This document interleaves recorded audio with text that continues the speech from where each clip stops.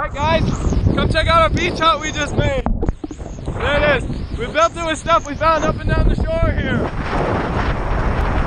Check it out. Come on in, guys.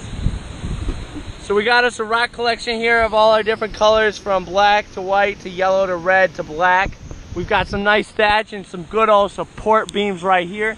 Now I think Joram's gonna show you around the hut. All right, I'll show you the outside of the hut. We got our flag here. It's actually just a drying shirt.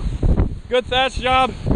Some uh, sturdy uh, sea beams right here to support the base against wind and waves. A really nice doorway and some good high um, spikes to hang flags on or dead squirrels, whatever you need. All right, that's uh, that's pretty much the whole beach hut we built. So